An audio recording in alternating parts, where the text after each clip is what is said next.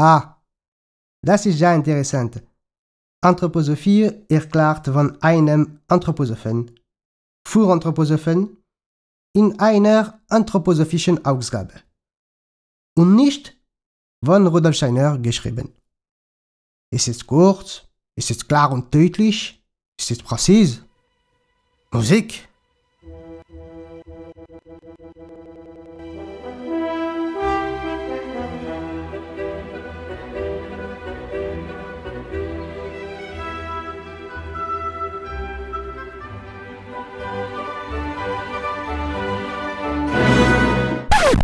Les anthroposophes affirment régulièrement que les critiques de l'anthroposophie ne comprennent rien à l'anthroposophie.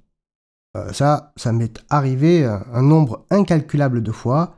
Je ne prends que mon cas, hein, euh, mais on pourrait l'étendre à d'autres. J'ai beau lire euh, tout Rudolf Steiner, j'ai beau le citer, rien n'y fait. Il semblerait que j'ai rien compris et que forcément je l'explique mal. À tel point, par exemple, que selon Tristan Chaudon, je serais un, falsificateur. ça m'étonne. Franchement, euh, j'ai pourtant bien lu Steiner, j'ai lu les universitaires euh, qui ont traité du sujet, cependant il semblerait euh, que je sois biaisé. Hein. Pourtant, je connais personnellement des anthroposophes qui m'ont expliqué l'anthroposophie. Bon, bref, admettons que je sois biaisé. Alors lorsque je demande qu'on définisse ce qu'est l'anthroposophie, à quelqu'un qui m'affirme que j'entrave rien au sujet, je me retrouve face à des explications brumeuses, voire fumeuses. Certains en sont même arrivés à me dire que l'anthroposophie, ce n'est pas ce qu'en dit Steiner. Si, si. Voyez ce magnifique passage écrit par l'inénarrable Alexandre Valnier. Les déclarations de Steiner ne sont pas l'anthroposophie, qui ne sont pas ce que les gens disent et projettent, détracteurs comme anthroposophes qui peuvent se méprendre, sur elle. Bon, euh, Alexandre Valnier, euh, c'est quand même un, cas très très particulier. Quant à Sylvain Lézère, euh, qui me traite de tous les noms possibles suivant son élégance coutumière, il cite quelqu'un qui dit l'anthroposophie n'a pas de définition. Bon.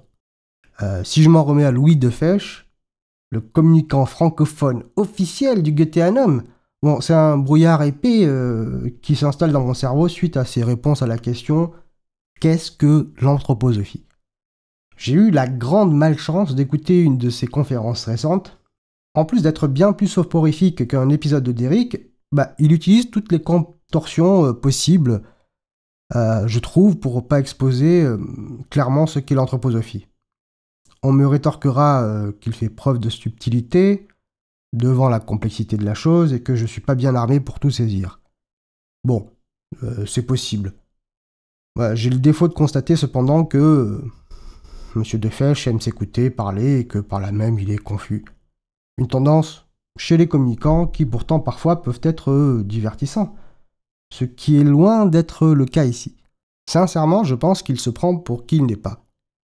Et en même temps, il est victime consentante, enfin j'espère, hein, coucou les tantristes sceptiques, d'une particulière forme d'expression qui est propre au milieu anthroposophique, un style, un rythme, une componction, un agencement des mots, des phrases, bref, et ce dans une attitude mimétique dans le milieu très partagé, très reconnaissable, une espèce de glose anthroposophique.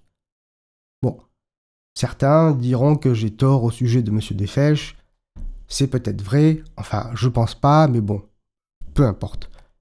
Du coup, revenons à nos moutons, je me suis procuré il y a quelques années un ouvrage écrit par un anthroposophe, écrit pour les anthroposophes, édité par une maison anthroposophique et traduite par une anthroposophe. Et le titre de cet ouvrage, c'est Qu'est-ce que l'anthroposophie d'Otto Frankl Lundborg, publié pour la première fois en 1972. L'édition que j'ai, c'est celle de Triade. Le texte est traduit de l'allemand au français par Madame Gabrielle Wagner.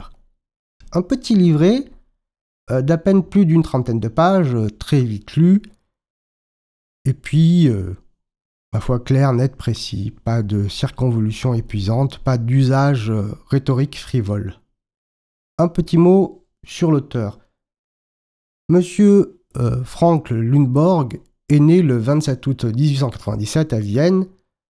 Une des deux capitales de ce qui était l'Autriche-Hongrie, et puis il est décédé le 10 avril 1979 à Arlesheim, en Suisse, ville euh, limitrophe de Dornach, lieu qui fut le fief euh, d'Ita Wegmann, et puis un temps aussi euh, de la seconde société anthroposophique lorsqu'il y eut une scission entre la femme et la maîtresse de Rudolf Steiner quelques jours après le décès de ce dernier. Le père de M. Frank Lundborg était un marchand slovaque et sa mère, Ella Schmidt, a grandi en République tchèque. M. Frank Lundborg avait trois sœurs, bon, c'est pas très intéressant. Euh, par contre, M. Frank Lundborg a étudié le droit et les sciences politiques à Vienne, pour lequel euh, il obtient un doctorat en 1920. Et ensuite, il va créer quelques entreprises sans trop de succès. Et finalement, il se lance dans le métier de banquier en 1923 à Stuttgart, puis à Berlin. Euh, dès 1917, il avait publié quelques recueils poétiques car il avait été très influencé par un poète local qu'il a eu comme instituteur. C'est en 1922 qu'il rencontre Rudolf Steiner lors du congrès West-Ost à Vienne, et en fait il avait été influencé par ses cousines Hella et Maria Spira quelques années auparavant, c'est ce qui l'a amené petit à petit à l'anthroposophie. En tout cas, après la rencontre, euh, il devient très très proche du maître, il fait partie de la garde rapprochée. À partir de 1931, il sera membre du conseil d'administration de Véleda, dont il sera le président de 1958 jusqu'à sa démission en 1970. Il a donné de très nombreuses conférences sur l'anthroposophie, notamment en Hongrie. Quoi d'autre? Euh, En 1947, il a dirigé la Paracelsus Zweig, la branche baloise de l'anthroposophie, une branche qui fut fondée en 1906 par Rudolf Steiner himself. Et surtout, euh, M. Frank Lundborg a été un temps président de la Société anthroposophique en Suisse. Il a publié de très nombreux articles, très nombreux textes, notamment dans des revues évidemment anthroposophiques. C'est donc euh, une référence. Sylvain, euh, Alexandre, Rémy et consorts ne m'en voudront pas si je préfère donc l'explication de ce qu'est l'anthroposophie par ce monsieur à la leur. Quant à la traductrice, Madame Gabrielle Wagner, elle est une anthroposophe membre de la Société anthroposophique française, euh, surtout connu pour ses nombreuses traductions, notamment des œuvres de Rudolf Steiner. Et maintenant, plongeons dans l'ouvrage. Premier chapitre, qu'est-ce que l'anthroposophie? Et pour expliquer l'anthroposophie, ça va lui prendre une page, précisément 15 lignes, et à travers trois points. Premier point, l'anthroposophie, c'est la méthode fondée par Rudolf Steiner, je cite, méthode scientifique exacte pour l'investigation des mondes suprasensibles. Fin de citation. Voilà. Deuxième point, l'anthroposophie, ce sont aussi les résultats de cette investigation suprasensible, appelée la science spirituelle, je cite, complément indispensable des sciences de la nature. Donc cette science spirituelle expliquerait les êtres spirituels, les différents corps de l'homme, elle donnerait une profondeur à l'histoire, et elle permettrait de répondre scientifiquement à la question. Il semble que c'est important pour M. Frank Lundborg et pour les anthroposophes. Ça permet de répondre à la question qui est Jésus-Christ? Troisième point, l'anthroposophie, c'est aussi les résultats de cette investigation euh, s'appliquant à la vie pratique, chez l'individu et dans les groupes sociaux. La pédagogie Steiner, la médecine anthroposophique, la pédagogie curative, l'agriculture, l'art, etc. Et voilà, c'est aussi simple que ça. Et franchement, je vous avoue que je suis content. Euh, parce que c'est bien ce que j'avais compris de l'anthroposophie, euh, et du coup, je, me sens moins bête. Toutes les annexes pratiques, l'agriculture biodynamique, la pédagogie Steiner-Waldorf, la médecine anthroposophique, les médications anthroposophiques, etc., etc., c'est de l'anthroposophie. De l'anthroposophie pratique qui découle de résultats d'investigation du monde suprasensible supposé exact scientifiquement, résultat issu d'une méthode donnée par Rudolf Steiner, méthode qu'il appelle par ailleurs la clairvoyance, bien que le mot euh, ne soit pas cité dans le présent ouvrage, mais euh, voilà, c'est connu, euh, c'est la clairvoyance. Donc, je répète ce qui a été dit en 15 lignes, les annexes, les résultats, la méthode de Rudolf Steiner, et pas une autre, hein, celle de Rudolf Steiner, c'est tout cela l'anthroposophie. Clair, net, précis. Deuxième chapitre, l'anthroposophie, chemin de connaissance. Alors c'était un chapitre long de trois pages et demie dans lequel M. Frank Lundborg énonce l'évidence, évidemment, que la compilation de savoir, ce n'est pas la connaissance. Et cette connaissance se fait, selon lui, par une approche du sensible, c'est-à-dire du concret et du suprasensible, ce qui se dérobe à nos sens physiques. La réunion des deux connaissances, c'est la connaissance de la totalité du monde. Bon ça c'est euh, franchement basique en matière de spiritualité. Ensuite, dans ce petit chapitre, il pose une critique du matérialisme qui, selon lui, réduit l'accession au monde suprasensible euh, et qui mène euh, à l'incompréhension du monde dans sa totalité. De là résulteraient les catastrophes de notre siècle. C'est pour cette raison, entre autres, que Rudolf Steiner va mettre en place une méthode consciente pour percevoir les mondes spirituels, considérant que les anciennes formes de connaissances spirituelles sont rendues obsolètes par les découvertes scientifiques modernes. Il propose du coup des exercices dits psychospirituels et moraux. Premier exercice, la concentration sur un objet, une pensée, etc. Deuxième exercice, la méditation, c'est être l'objet ou la pensée sur laquelle, euh, ou laquelle on s'est concentré précédemment. Et puis ensuite, euh, troisième exercice, c'est la maîtrise de l'intérieur d'une conduite de vie. Une morale, quoi. Dont M. Frank Lundborg euh, affirme que l'anthroposophie est la seule science à en user. Ces exercices permettraient de percevoir les contenus de nature spirituelle, c'est-à-dire les diverses entités dans notre monde que nous ne pouvons percevoir seulement à partir de nos cinq sens et M. Euh, Frank Lundborg de citer Steiner. Par anthroposophie, j'entends une investigation scientifique du monde spirituel qui perce à jour les insuffisances et le caractère partiel aussi bien de la science que de la mystique courante. Fin de citation. L'anthroposophie est donc présentée comme une méthode de connaissance totale, bien plus complète que les sciences et les autres spiritualités. Du coup, on en arrive déjà au troisième chapitre, qui a pour titre La nature humaine et qui est long de cinq pages. Monsieur Frank Lundborg nous dit que l'homme doit se connaître. Or, l'homme moderne s'y refuse et il sent en même temps qu'il y a un petit malaise. Et du coup, euh, Monsieur Frank Lundborg de déployer les corps de l'homme selon l'anthroposophie. Le corps physique, celui du monde sensible. Le corps physique, euh, celui du monde sensible, le seul que la science moderne connaisse bien. Bon, celui-ci est pénétré d'un second corps, suprasensible, donneur de vie, c'est le corps dit éthérique, c'est lui qui donne forme à la substance, qui l'organise. C'est la structure dans le corps physique en fait. C'est pour cela que le corps éthérique est dit celui des forces formatrices. Et puis le troisième corps, c'est le sentiment de conscience, le corps psychique, dit astral. Astral pourquoi? Parce que ces forces proviennent du cosmos. Et le quatrième corps, c'est le noyau humain qui aspire à comprendre encore plus c'est le moi ou euh, le jeu, le pronom personnel, le jeu. À titre de comparaison, il, voilà, il parle du monde animal qui, lui, est composé des corps physiques, éthériques et astral, mais pas du, du jeu. Le monde végétal, lui, est composé seulement des corps physiques et éthériques. Et le minéral, vous devinez, seulement du corps physique. Du coup, selon l'anthroposophie, hein, ce que nous en explique M. Frank Lundborg, à partir de nos cinq sens, nous ne pouvons percevoir que le minéral de toute chose et rien d'autre. Et euh, l'auteur d'affirmer ceci, je cite, L'investigation anthroposophique perçoit les trois constitutions suprasensibles de l'être humain qui deviennent ainsi l'objet d'une science fondée. Fin de citation. Fondée sur quoi? Euh, bah, Sur l'investigation des mondes spirituels par Rudolf Steiner. Rien d'autre. Alors de ça, j'en parle dans une autre vidéo. La science se résume ainsi pour Steiner, en ce qui concerne en tout cas les mondes spirituels. Il constate, il observe, et il met en place une méthode pour percevoir ces mondes spirituels. Méthode reproductible pour ceux qui s'y engagent. La cartographie est tracée cependant par euh, Rudolf Steiner. Si les résultats euh, observés par l'impétrant ne correspondent pas à ceux décrits déjà par Steiner, c'est qu'une erreur est commise dans l'approche, les exercices, etc. Et s'il n'y arrive pas du tout, c'est qu'en fait il s'y prend mal, quoi, c'est tout. Monsieur Frank Lundborg veut démontrer par la suite que euh, cette connaissance du suprasensible complète celle du minéral étudié par la science moderne.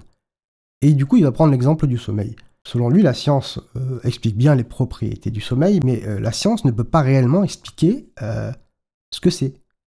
Alors que la science spirituelle, ben si, elle peut l'expliquer. Donc selon l'anthroposophie, selon l'investigation anthroposophique, le sommeil serait une séparation entre le corps physique et éthérique des corps astral et du jeu, qui eux vont rejoindre le monde du suprasensible. D'où la perte de conscience pendant le sommeil et l'impossibilité de rester debout. Le sommeil est, nous dit M. Frank Lundborg, l'apanage de l'homme. Alors euh, ça, je ne m'attendais pas à ça, j'avoue. Le sommeil serait l'apanage de l'homme, comme le langage articulé ou la pensée. Selon l'observation courante, dit M. Frank Lundborg, la conscience, c'est-à-dire le corps astral, ronge la vie, c'est-à-dire le corps éthérique. Et à cela va s'ajouter la fatigue du corps physique ou du travail intérieur. Le jeu et le corps astral se flétrissent au contact du monde physique, d'où euh, la nécessité de se séparer un temps pour se régénérer dans les mondes spirituels. Quant au rêve, nous dit M. Frank Lundborg, c'est plus compliqué à expliquer parce que ça tient des quatre corps et bon, il n'insiste pas, sinon je suppose que ça le mènerait trop loin. Par contre, il va exposer un point très important, le développement de l'enfant. Important parce que ça concerne évidemment la pédagogie Steiner-Waldorf, qui est, je le répète, à la fois une application de l'anthroposophie et l'anthroposophie elle-même. Et c'est selon l'explication anthroposophique du développement de l'enfant qu'est adaptée la pédagogie. Quand l'enfant vient au monde, il n'est pas fini. Au niveau du corps, au niveau de l'âme, au niveau de l'esprit. Alors les quatre corps évoluent jusqu'à maturité. Et cette maturité procède d'abord du suprasensible. Et je cite du coup, c'est ainsi que l'évolution du corps éthérique marque un arrêt à la seconde dentition, celle du corps astral à la puberté, etc. etc. Fin de citation. Et ça, c'est selon qui? C'est selon Rudolf Steiner. Bon, du coup, à partir de là, on saurait ce qu'on peut donner à un enfant avant 7 ans, et puis à un enfant après 7 ans, puis ce qu'on doit euh, éviter pour lui avant 7 ans et ce qu'on doit éviter pour lui après 7 ans. Je cite à nouveau, l'anthropologie anthroposophique c'est la base de la pédagogie telle que la pratiquent les écoles Rudolf Steiner. Ça c'est important ça, je répète. L'anthropologie anthroposophique, c'est la base de la pédagogie telle que la pratiquent les écoles Rudolf Steiner. La première de ces écoles a été fondée en 1919 à Stuttgart, la Libre École Waldorf. Quand on ignore cette anthropologie fondée sur le réel, donc il parle des quatre corps, hein, et qu'au lieu euh, d'en tenir compte, on obéit à des constructions intellectuelles, cela mène à des mesures dévastatrices en pédagogie. Fin de citation. Voilà, je crois qu'il n'y a pas besoin de commenter plus là. C'est assez clair. Et, on peut le reconnaître. Et c'est respectable finalement. Il a le droit de croire en ça, comme d'autres anthroposophes. Il y a des certitudes que d'autres considéreraient comme des croyances. Ici, bon, assumées euh, cependant, clairement, sans ambiguïté, sans explication fumeuse, ni dissimulation. Et en sachant cela, euh, un parent sait où il met son enfant et puis du coup il porte une responsabilité qui, lui incombe. Or combien de parents mettent leurs enfants dans une école Steiner-Waldorf sans savoir que la pédagogie Steiner-Waldorf, eh ben, c'est l'anthroposophie? Je pense qu'il y en a pas mal. Ce que je dis avec d'autres, et apparemment nous n'avons rien compris, eh bien, je suppose que Frank Lundborg n'a rien compris aussi à l'anthroposophie et à toutes ses branches. Et Steiner non plus, il n'a rien compris à ce qu'il a dit. Voilà. Bien, avançons. Toujours dans le même chapitre, euh, après la constitution des corps, après l'évolution de l'enfant, la santé. Autre point important. Donc la maladie serait due à une disharmonie dans les corps, notamment entre le corps astral et éthérique, ce qui forcément va se révéler sur le corps physique. Je cite la médecine anthroposophique connaît les symptômes de ces troubles et les moyens d'y remédier. Fin citation. L'objectif est donc de remettre de l'ordre dans les quatre corps. Les remèdes sont élaborés à partir des investigations des mondes spirituels qui donnent la bonne indication. Telle plante, telle substance naturelle va agir sur l'astral ou l'éthérique? Says who? Rudolf Steiner. Il existe d'autres méthodes, l'eurythmie curative et l'eurythmie artistique donc une danse symbolique qui joue euh, aussi sur les différents corps, danse qui provient strictement de l'anthroposophie. Il existe euh, évidemment d'autres arts thérapeutiques. Et euh, du coup, dans ces techniques de médecine sont exclus les prières, les conjurations, etc. Ben oui, soyez pas étonnés. ça reste une science. Et M. Franklin Bohr de conclure, euh, d'une sur les enfants atteints de problèmes psychiques, que la pédagogie curative anthroposophique prend bien en charge grâce à cette connaissance particulière de la nature humaine. Et de deux, le principal intérêt de l'agriculture biodynamique, dit M. Frank Lundborg, c'est de nourrir les quatre corps correctement. Le corps physique, le corps éthérique, le corps astral et le jeu. Voilà, clair, net, précis, pas d'entourloupe. Quatrième chapitre, les grandes énigmes de l'existence. Un chapitre long de six pages, chapitre qui commence d'emblée par une question, euh, d'où venons-nous avant notre entrée dans la vie terrestre? Autre question, évidemment, où allons-nous après la mort? Qu'est-ce qui cause la destinée vécue? Voilà les trois questions donc posées euh, par M. Frank Lundborg. Et à ces questions, la science qui concerne le monde physique ne peut pas y répondre. En fait, seule la connaissance totale, celle du physique bien sûr, mais de l'éthérique, l'astral et du jeu, et euh, l'interpénétration entre les corps peut répondre, peut permettre de répondre à ces questions. L'anthroposophie, en tant que science spirituelle, donne la réponse à ces questions.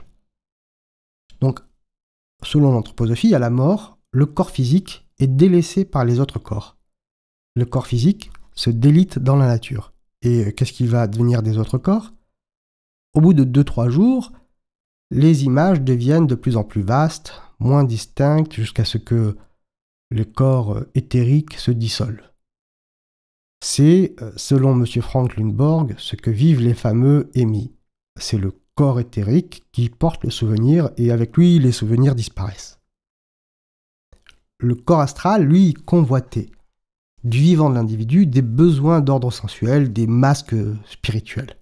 Et avec la mort, la privation de cette nourriture est ressentie comme une brûlure, d'où le fameux purgatoire, c'est-à-dire un centre de désintoxication en fait qui dure un certain temps.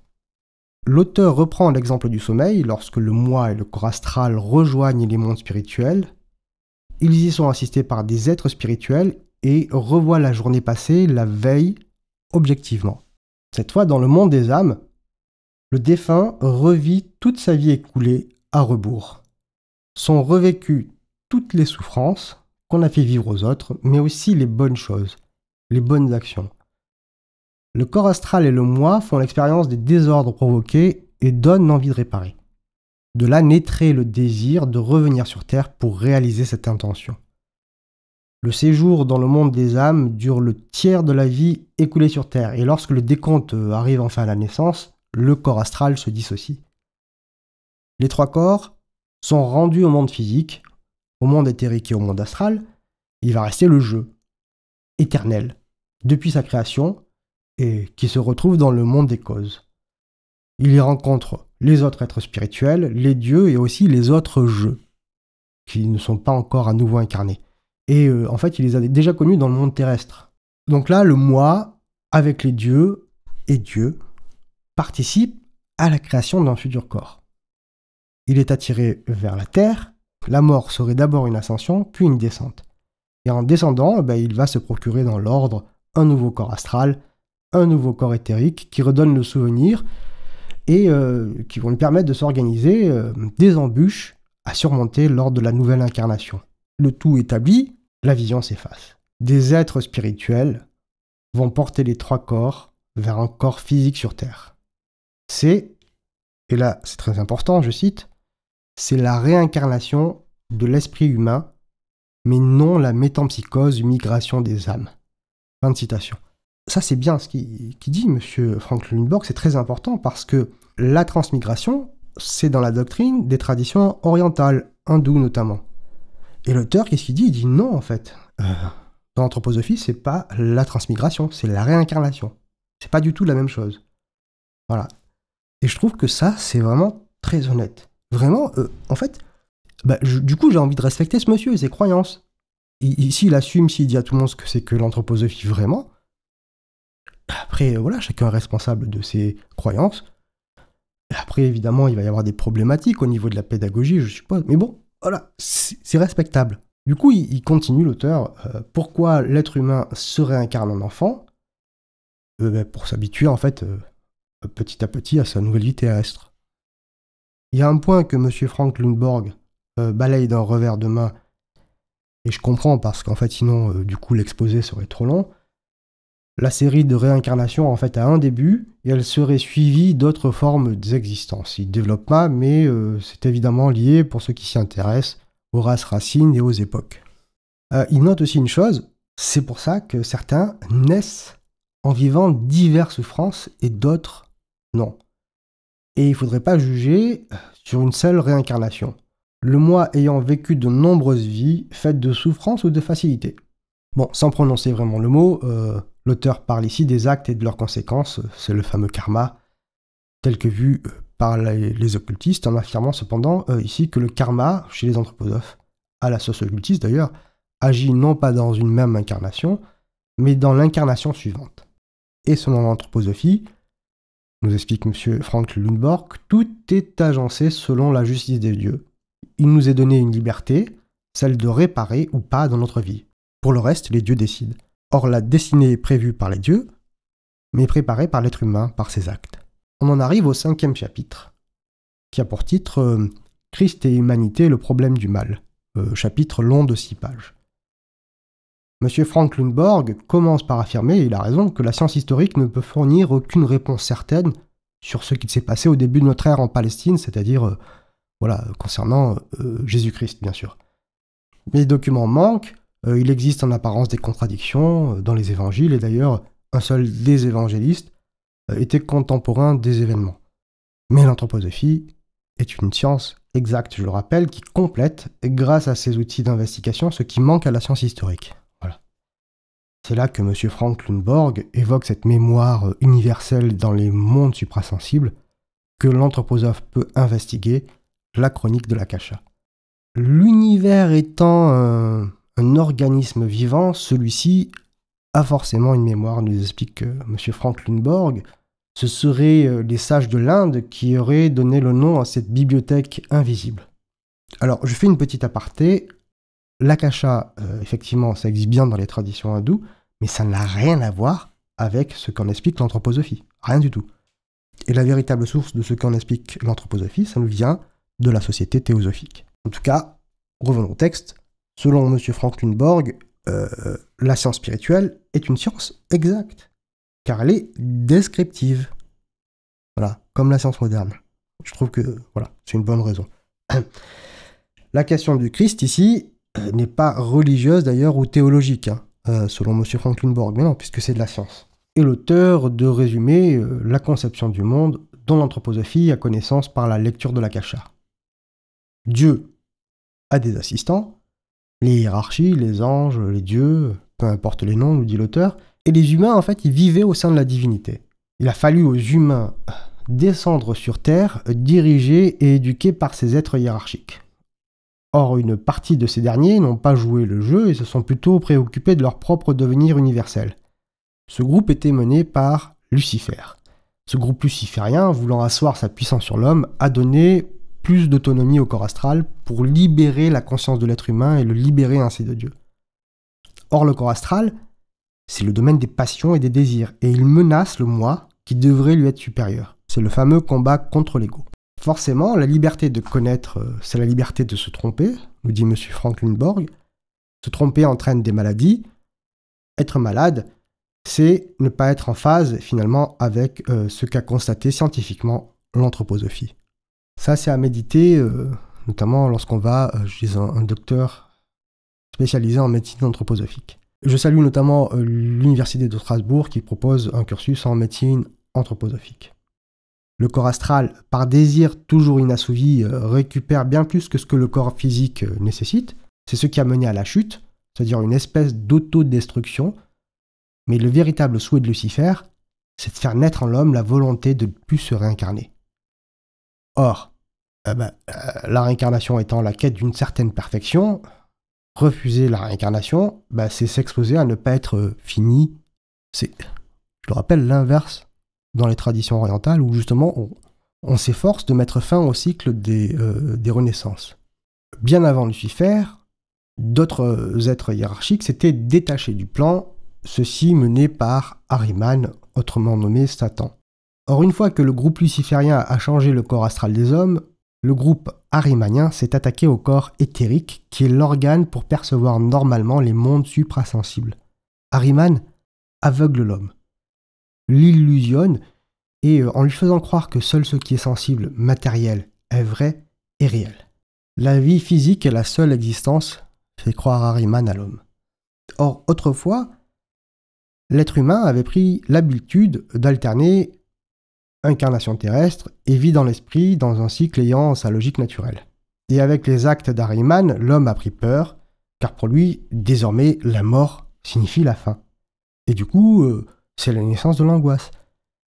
Par ce biais, la mort devenant euh, l'instrument d'Ariman, ce dernier euh, tente d'enchaîner les humains à la vie terrestre tout en leur empêchant l'accès au spirituel. Ceux qui vivent ainsi à la mort, leur moi ne rejoint pas le plan divin pour ensuite euh, revenir s'incarner comme on l'a vu tout à l'heure. Non, le moi euh, est emprisonné dans un cachot ténébreux, formé par euh, leur égoïsme, et puis à leur incarnation, eh ben, les effets vont se faire sentir.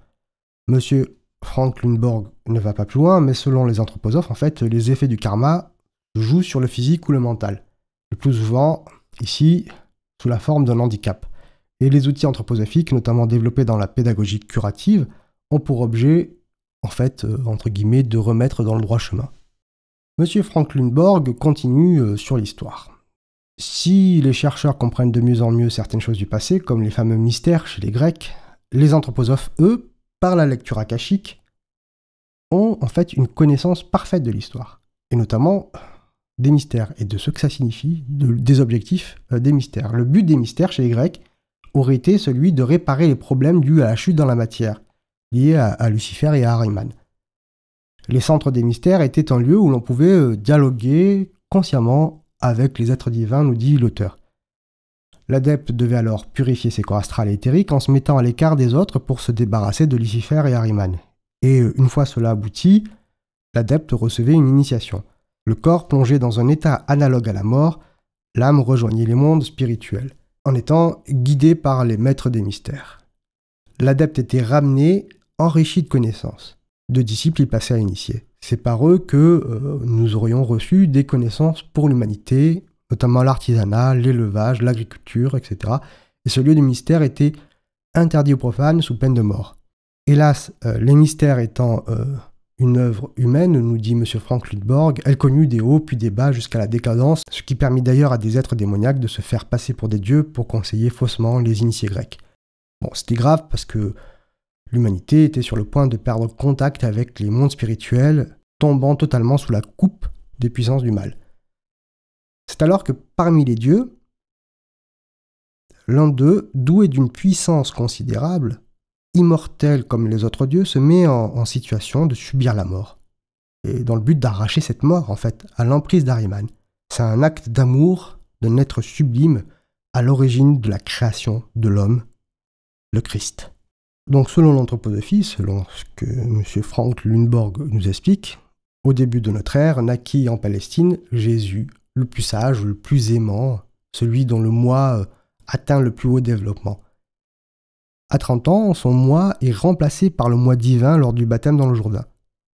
Dieu vit alors sous forme humaine pendant trois ans et y enseigne et y souffre. Les quatre évangélistes euh, qui racontent cette vie seraient issus de quatre courants des mystères. Il s'agit donc de quatre euh, vues, quatre points de vue, mais qui ne se contredisent pas. Le Christ a reconstruit, nous dit M. Frank Lundborg, le pont entre l'humain et les mondes spirituels, mais pas selon les usages des mondes anciens. Et c'est ce qui va lui valoir la haine et la crucifixion, en fait. Le Christ aurait donné une nouvelle forme au mystère que l'on voit, euh, selon euh, l'anthroposophie, à travers l'initiation de Lazare, celui qui fut enterré et puis ramené à la vie par le Christ. Donc, selon l'anthroposophie, il s'agit d'une initiation, celle du rappel de l'âme dans le corps, initiation qui devient dès lors intérieure et non plus seulement extérieure. Les grands prêtres auraient pris cela comme le dévoilement public de cette initiation, ce qui, euh, en fait, était un acte passible de peine de mort. D'où la persécution, la trahison, l'arrestation, le jugement, la crucifixion et la mort, une mort humaine, ce qui permit au Christ de se rendre au royaume d'Ariman afin de porter sa lumière. Le corps de résurrection devient celui qu'avait l'être humain avant la chute due à Lucifer et Ariman, qui n'est ni de chair ni d'os. C'est ainsi, conclut M. Frank Lundborg, que l'anthroposophie sait de manière scientifiquement exacte qui était le Christ, et du coup de répondre tout aussi exactement à la question du mal. Or de nos jours, nous dit M. Frank Lundborg, le mal est pris pour le bien. Et ça, c'est à cause de l'intellectualisme poussé à fond les ballons par Lucifer. Euh, on peut douter de l'aspect scientifique exact de ces lectures de la Cacha, qui, bon, sincèrement, pose question. Je pense qu'on peut quand même douter ici de cette assertion que certains anthroposophes disent, et qui résume en une phrase, l'anthroposophie n'est pas une religion. En tout cas, je le répète encore une fois, l'auteur est sincère, il expose clairement, de manière assumée, ce qu'est l'anthroposophie. Et on en arrive au dernier chapitre, Rudolf Steiner et son œuvre sociale, chapitre long de six pages. L'anthroposophie, donc, comme euh, M. Frank Lundborg l'a dit au début, c'est trois points. C'est euh, premièrement la technique mise en place par Rudolf Steiner pour avoir accès au monde spirituel. Deuxième point, c'est le résultat, c'est-à-dire euh, l'acquisition de connaissances dans ces mondes spirituels. Et troisième point, ce sont les applications de ces connaissances pour sauver l'humanité sur Terre. Seules ces connaissances issues des sciences spirituelles peuvent aider l'humanité. Seules ces connaissances. Il faut qu'elles soient appliquées socialement dans la vie pratique. Dans ce chapitre, M. Frank Lundborg va se lancer dans une agiographie de Rudolf Steiner. On connaît sa vie, je ne vais pas la refaire ici. Euh, de ses expériences du suprasensible est enfant jusqu'à l'invitation d'un groupe théosophiste pour une conférence sur Nietzsche, de sa nomination en tant que secrétaire général de la Société théosophique en Allemagne à son exclusion, de la fondation de la Société anthroposophique à une refondation en 1923 en Société euh, anthroposophique universelle, lorsqu'il en devint un président officiel, etc., etc., conférences, livres, articles, voilà. Euh, sa première action pratique aussi, à Rudolf Steiner, était dans le monde de l'art, du théâtre, pour lequel il a créé quatre drames mystères, représentés à Munich de 1910 à 1913. Euh, mystère donc, vous devez maintenant comprendre ce que ça signifie par là. Ces quatre drames avaient pour titre euh, La porte de l'initiation, L'épreuve de l'âme, Le gardien du seuil et L'éveil des âmes. Le théâtre est donc le premier acte, oserais-je dire, de la mise en pratique des investigations suprasensibles de Rudolf Steiner. Voilà. Donc si vous vous inscrivez en tant qu'étudiant euh, dans un théâtre se référant euh, aux techniques de Rudolf Steiner, vous savez maintenant ce que cela recouvre. Idem si vous êtes d'ailleurs spectateur d'une pièce jouée dans ce, théâtre. Voilà, il faut être euh, aware. L'un des buts de la création de, du Goetheanum, c'était justement aussi la possibilité d'avoir une salle pour jouer ces mystères qui n'étaient pas vraiment demandés dans les salles de théâtre. D'ailleurs, euh, ces pièces ne sont jouées que dans des théâtres anthroposophiques aujourd'hui encore. Il n'y a personne d'autre qui joue euh, les, drames mystères de, Steiner, si ce n'est les anthroposophes. C'est comme la philosophie de Steiner, elle est étudiée que par les anthroposophes et dans aucune, aucun lycée, aucune université. Donc Rudolf Steiner fait monter le Goetheanum, il y participe évidemment en tant qu'architecte, sculpteur, peintre, etc. Euh, etc. Et Toujours dans le théâtre, euh, il va travailler sur l'art de la parole, le rythmie, et M. Frank Thunborg euh, expliquait que les mouvements des répercussions dans le monde suprasensible autour de nous et dans nos différents corps, donc quand votre enfant fait de l'eurythmie dans une école Steiner-Waldorf, vous savez aussi ce que cela recouvre réellement. Un champ visible au langage invisible. D'ailleurs, l'eurythmie, il n'y a que dans les écoles Steiner-Waldorf qu'on en fait, et dans le monde anthroposophique, dans le milieu anthroposophique. Nulle part ailleurs on fait de l'eurythmie. Le Goetheanum devient euh, université et centre d'investigation spirituelle. C'est donc un lieu euh, où, disons, une certaine élite a accès au monde spirituel à travers diverses sections pour amener des connaissances et donner des consignes pour les appliquer en pratique dans la vie. C'est le rôle des responsables de section euh, dans l'université libre de, du Goetheanum, en fait. Suite à la Première Guerre mondiale, Rudolf Steiner va créer un modèle social, toujours selon la science spirituelle, un modèle qu'il appelle la triarticulation euh, sociale qui, comme son nom l'indique, est partagé en trois pôles qui s'articulent entre eux tout en étant autonomes. La vie économique pour s'occuper du corps physique, la vie politique juridique, la vie spirituelle et culturelle. La vie politique et celle du droit ne doit pas interférer sur celle de l'économie qui, qui, elle, doit se réguler toute seule. M. Frank Lundborg explique que le système moderne d'un État qui se mêle de la culture et de l'économique ne peut que provoquer des catastrophes. Et puis, euh, la triarticulation n'est pas inventée, enfin ne sort pas de nulle part, mais des investigations scientifiquement exactes de Rudolf dans le monde spirituel. Si le message de cette triarticulation ne passe pas encore, selon l'auteur, c'est qu'il y a en face une assez forte résistance et des gens à la conscience encore trop endormis. Voilà, il faut un éveil de conscience, quoi. Ce qui amène de la nouveauté, de manière générale, nous dit M. Franklin Borg, ceux qui amènent la nouveauté sont toujours haïs. C'est ce qui est arrivé à Rudolf Steiner, euh, qui aurait d'ailleurs subi une tentative d'assassinat, et c'est la raison pour laquelle le premier Goetheanum aurait été incendié. Alors ça, sur ces histoires-là, j'y reviendrai en temps voulu. Bref, j'en reviens cependant à ce que dit M. Frank Lundborg. Selon lui, selon l'anthroposophie, évidemment, les investigations spirituelles ont abouti à des cas pratiques. En pleine expansion d'ailleurs, nous dit l'auteur. Euh, la pédagogie Steiner-Waldorf, la pédagogie curative, la médecine, la, pharmacie... Euh, agriculture biodynamique, etc., etc. En 1924, Steiner a, tout donné en fait, tout donné de lui. Et puis, faute aux demandes incessantes, il se serait épuisé. Malade, Rudolf Steiner meurt, non sans avoir édifié la maquette du second Goetheanum. Et Monsieur Franklin Borg de conclure ainsi, c'est désormais à la Société anthroposophique universelle de faire vivre l'anthroposophie de Rudolf Steiner. Voilà, c'est fini. C'était court, Qu'est-ce que moi je pourrais dire en guise de conclusion? Bah, Ce que j'ai déjà dit, je recommande vivement la lecture de cet ouvrage qui explique et assume clairement ce qu'est l'anthroposophie. Voilà, c'est un livre à offrir, quoi. Un ouvrage euh, écrit par un anthroposophe, pour les anthroposophes, par une référence de l'anthroposophie. Et puis en plus, on a une explication à euh, milieu euh, de celle donnée par les Louis, Rémy, Alexandre, Tristan, Bernard et consorts. Voilà, ce texte valide clairement la définition des propos tenus par les critiques de l'anthroposophie. L'anthroposophie, on répète encore une fois, c'est une méthode de clairvoyance créée par Rudolf Steiner. Une science qualifiée euh, d'exacte par les anthroposophes, très bien, pour avoir accès au monde spirituel, en récupérer euh, des connaissances et l'appliquer dans des pratiques diverses que l'on connaît, école, médecine, Steiner, euh, agriculture, etc. La méthode, ses résultats et les applications sont toutes trois ensemble et séparément de l'anthroposophie. Donc, les écoles Steiner-Waldorf, c'est de l'anthroposophie. L'agriculture biodynamique, que vous soyez anthroposophe ou pas, c'est de l'anthroposophie en fait. Alors vous avez de la chance, je suis brave, hein, je vous dis que je vous conseille la lecture, mais voilà, vous dites ah, je vais pas aller l'acheter. Ben, ça tombe bien. Dans le descriptif de la vidéo, vous trouverez un lien qui vous donnera accès aux pages de ce bouquin. Vous pourrez le lire tranquillement et vous rendre compte que en fait je ne fais que paraphraser l'auteur. Voilà, j'invente rien. Ça fait plaisir. Ce livre euh, fait plaisir. Bonne lecture.